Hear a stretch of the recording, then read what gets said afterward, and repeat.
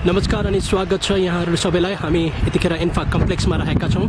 AFC under twenty two team आजदेखि इन्फा कम्प्लेक्समा shift भएको छ र आज पहिलो दिन नै जुन हामीले यहाँ ट्रेनिङ गरेको अवस्थामा तपाईँहरूको लागि सिधा भनौँ रिपोर्ट गरिरहेका छौँ। र नेपाल अन्डर ट्वेन्टी टू टिमका खेलाडीहरू यतिखेर स्ट्रेचिङमा व्यस्त रहेका छन्।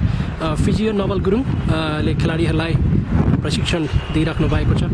हामी देख्न सक्छौँ यहाँ इन्फा कम्प्लेक्स बाटोमा हरियो मैदान छ। पहिलाभन्दा धेरै सुधारिएको मैदान हो यो र भर्खरै मात्रै AFC under fourteen festival youth festival पनि सकिएको छ र हामी देख्न सक्छौँ यहाँ इन्फा कम्प्लेक्स र आजदेखि खेलाडीहरू यो माथिल्लो तेस्रो र चौथो तलामा खेलाडीहरू बस्नेछन्।